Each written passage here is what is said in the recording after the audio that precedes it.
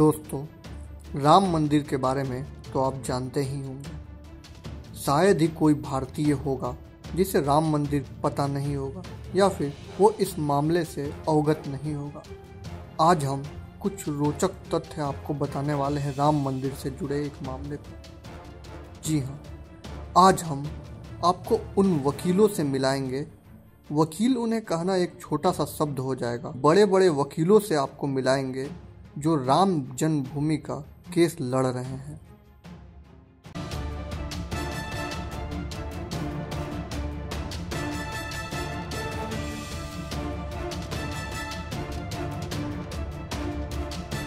आपको जानकर हैरानी होगी कि 1885 से राम जन्मभूमि का विवाद चल रहा है।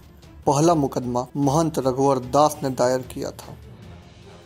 अब हम बात करते हैं सुप्रीम कोर्ट के उन वकीलों के बारे में जो राम मंदिर की पैरवी कर रहे हैं।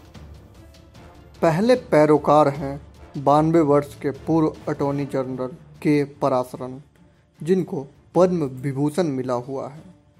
हिंदू विद्वान और सरकारी वकील रहे के पराशरन 1970 से लेकर अभी तक कई सरकारों के विश्वास पात्र रहे हैं। वर्ष 2016 के बाद पराशरन बहुत कम दिखते हैं।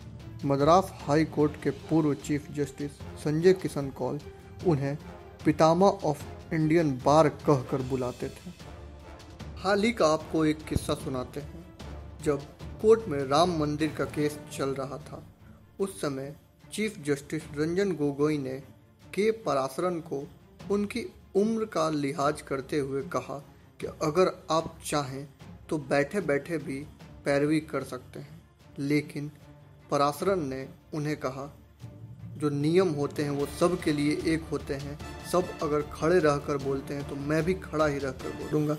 इससे हम उनके काम के प्रति निष्ठा और सम्मान का अंदाज़ा लगा सकते हैं। दूसरे वकील हैं सी एस वैद्यनाथन। इन्होंने बीएससी करने के बाद लॉ की पढ़ाई की और शुरुआती दौर पर उन्होंने के की वेणुगोपालन का ऑफ़िस ज्वाइन किया। और बाद में दिल्ली आ गए और मेहनत के कारण अपना अलग मुकाम बनाया। रामलला केस में जब मुस्लिम पक्षकार ने कहा कि वकील साहब सिर्फ़ पुराने अदालती फैसले पढ़ रहे हैं तो वैद्यनाथन ने पुराणों का ज़िक्र करना शुरू कर दिया और सब दंग रह गए।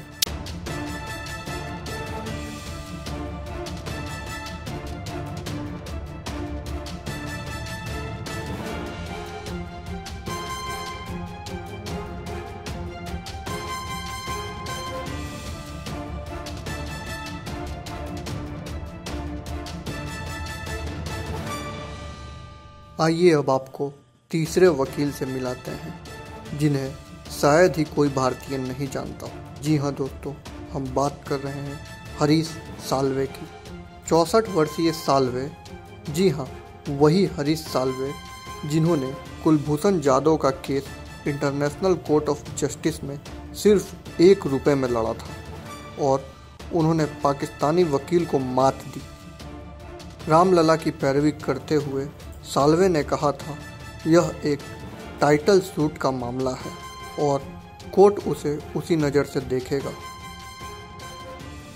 तो दोस्तों, यह केस काफ़ी बड़े बड़े वकील लड़ रहे हैं और इनकी सुनवाई प्रतिदिन हो रही है।